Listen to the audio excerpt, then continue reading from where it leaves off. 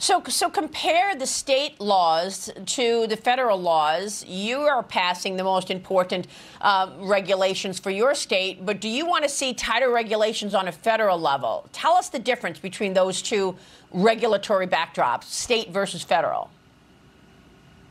Well, we have seen a CFIUS model at the federal level that has been ineffective at telling us really what is owned as far as property and what the vetting process is. And in fact, they've told us that they don't have authority in this area. So I do know that there are some U.S. senators that are working to expand that authority.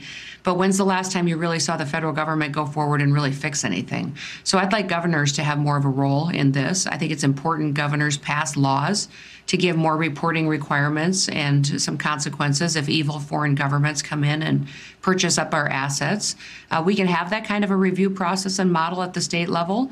Uh, we had a law in the books uh, for many, many years, but we added teeth to it this year that made sure we reported those land purchases, and we're going to continue to strengthen that. But having a CFIUS model that reviews these real estate transactions is incredibly important. It's just that at the federal level, it's not been effective and it hasn't stopped China from coming in and buying up our assets.